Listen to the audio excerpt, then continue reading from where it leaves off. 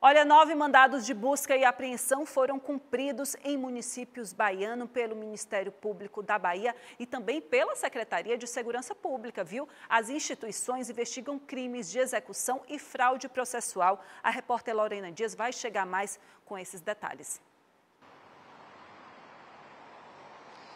Isso mesmo, Lícia. A Operação Lamaçal, ela tem como alvo sete policiais militares que são investigados por execução sumária e fraude processual. As buscas elas foram realizadas nas casas, né, nas residências desses sete policiais, assim como nos armários funcionais localizados na décima e na nonagésima primeira companhias independentes de polícia militar, às quais eles estão vinculados. Foram apreendidos celulares, armas e munições com o objetivo de colher mais elementos de prova sobre as circunstâncias das mortes de Alain de Aquino Silva, ocorrida em janeiro de 2020, e de Juraci Gonçalves Júnior, em maio do mesmo ano, no município de São Sebastião do Passé.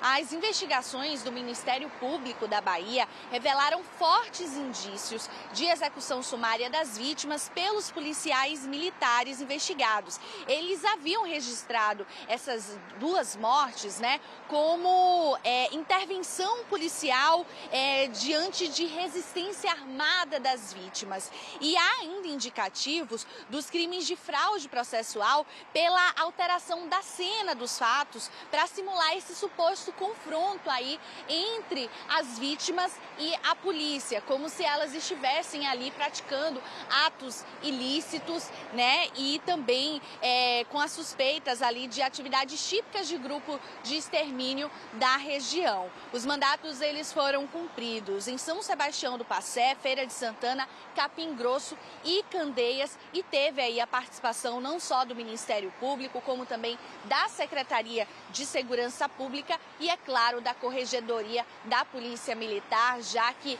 esses policiais aí teriam alterado a cena do crime, né, relatado fatos que não teriam acontecido é, e esse, isso tudo está sendo investigado aí pela polícia. O caso, ele ocorre sob sigilo, então a gente não tem o nome desses sete policiais envolvidos, mas a operação Lamaçal, ela segue aí investigando esses sete policiais militares.